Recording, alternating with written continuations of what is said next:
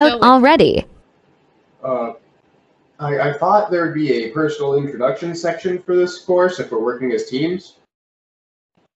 Like, Oh, um, well, that uh, we we kind of work in small groups and get to know each other as we go.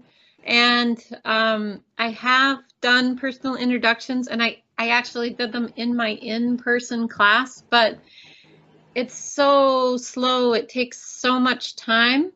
So I decided to pass on that this semester. We did that in my in-person class and we still got further in the slides than we did online. So um, I'm hoping guess, that we'll just get gonna throw this surprise at the wall right now. Then, what's that? hello, hello. Oh. I uh, yeah, I was gonna do this whole bit. It's not worth it anymore. Oh, introduce yourself. We uh, we'll take a minute. Everybody, I'm sure, wants to hear you introduce Nah. yourself with this. Go ahead. Nah, I